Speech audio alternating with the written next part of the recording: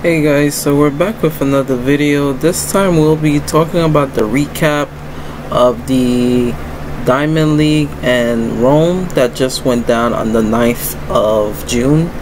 Now, there were some extravagant and spectacular events and races that went down. Um, we had the women's 400 hurdles, we had the men's 400, as well as the men's 200 and 100 meters, followed by the women's 100 meter hurdles and the women's 800 meters. And lastly we had the women's 200 meters which was probably my favorite out of the diamond league.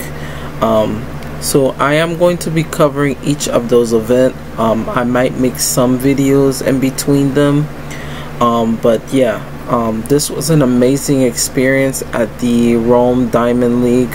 I think that it was very stacked stacked for each athlete that has not only one championship global medals but some veterans were there as well.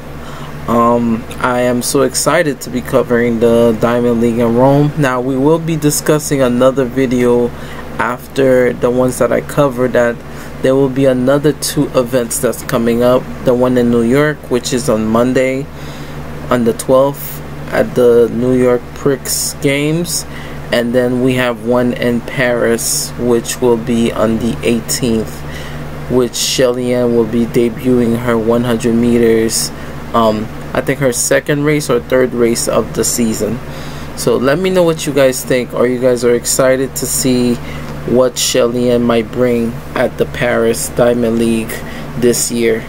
You know we got a couple of minutes um, you know weeks or so before USA's and you know after this month we have world championship next month.